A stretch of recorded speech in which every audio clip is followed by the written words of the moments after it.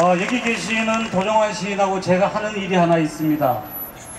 저기 북녘 땅에 사과나무를 심는 일입니다. 4년 전에 평양 근교에 저희가 3만 평 되는 땅에 만 그루, 만주의 사과나무를, 남쪽의 사과나무를 심었습니다. 그런데 남북의 긴장이 고조되면서 4년 동안 평양을 한 번도 가보지 못했습니다. 누구 때문에 못 갔습니까? 명박이! 맞습니다.